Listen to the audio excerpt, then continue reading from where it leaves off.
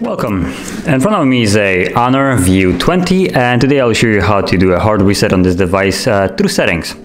So starting off we'll actually jump into the settings app. As you can see it's here on the home screen or you can also find it right here where the notification is, a gear icon, so you can just tap on it.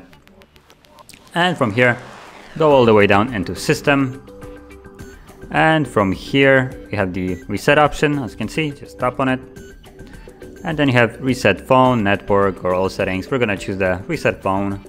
That's what we're really looking for. And as you can see, I have a little message what will remove. And once you get accustomed to it, you can just tap on reset phone on the bottom and confirm it once more or back it up before you do it if you want to keep some of those data.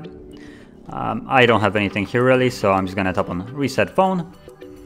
And now the process will begin. Now it will take a little bit of time, to like up to a couple minutes and when it's finished you will be greeted by the Android setup screen so let's wait for it to finish and I'll be back once the setup screen is actually visible.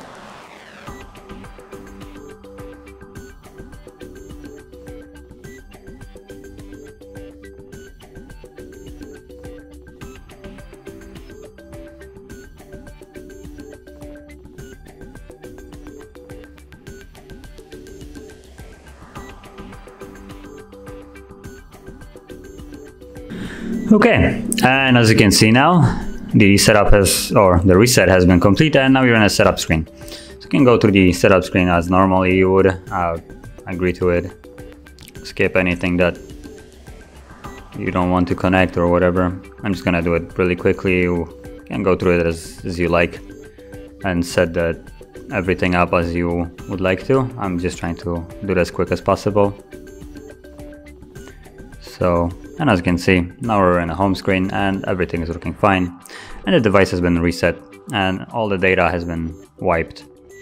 So, that is basically how you perform a hard reset. And if you found this video helpful, don't forget to like, subscribe, and thanks for watching.